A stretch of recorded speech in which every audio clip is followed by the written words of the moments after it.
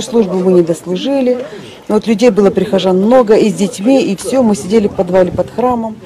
Ну Вот. И все ж не приготовлены были к этому. Ни кушать не было, ничего, ни хлеба у нас не было. Готовить кухню не могла, потому что все уже, ну, все это стало врасплох. Людей погибло очень много, очень много наших православных погибло, наших прихожан погибло очень много. Это по 40 человек у нас было, по 40 человек у нас было, э, нам сообщали, что люди вот просто лежали на улице, несобранные трупы.